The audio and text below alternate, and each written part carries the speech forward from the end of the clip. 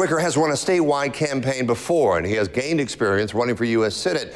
By definition, this is his third time to try and convince voters to return him to this seat. Roger Wicker says he has balanced campaigning with actual U.S. Senate work while Congress is in session. I, the, really, the only people that, that ask me about this are the press uh, and maybe some people representing uh, uh, folks on the other side.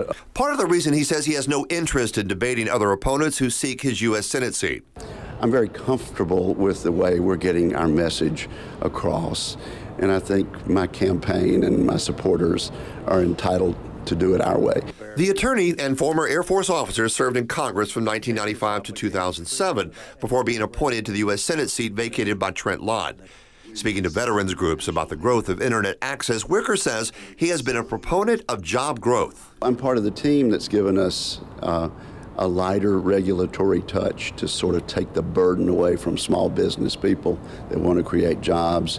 The tax cuts, the conservative judges, including Judge Kavanaugh, who was just confirmed. He is a deputy Republican whip in Congress and chaired the U.S. Senatorial Committee during the recent election cycle that drew praise from GOP leaders for the number of lawmakers elected.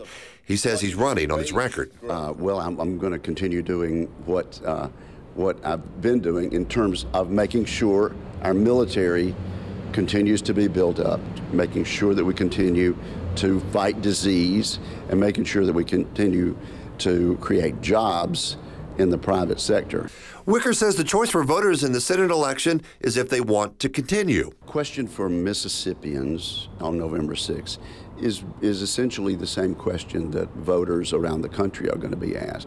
Are we going to continue to build on the economic success that we've had this, these last two years in Washington with uh, phenomenal job growth.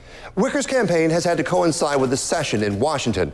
He serves on a host of committees, including Armed Forces and Commerce.